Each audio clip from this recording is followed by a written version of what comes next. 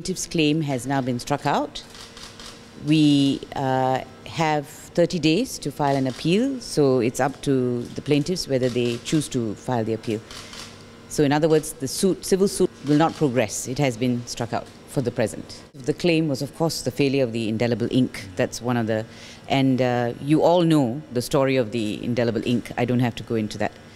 But uh, it was, as far as uh, our clients are concerned, a complete failure. We will continue this uh, this uh, appeal and this fight because ada isu-isu yang uh, sifatnya adalah sistemik ataupun sifatnya adalah sistem dan sistem itu perlu dicabar dan is challenge uh, baru akan dapat lihat jelas bagaimana uh, penyelesaian perkara itu. Sekarang ini mereka telah semacam memintasnya dengan keputusan ini dan kami tidak dapat address those issues Uh, kerana on technical ground katanya bahawa kami tidak uh, memfilekan dan dia menyarankan supaya we file this all together. And that is you know a technical reason to struck it out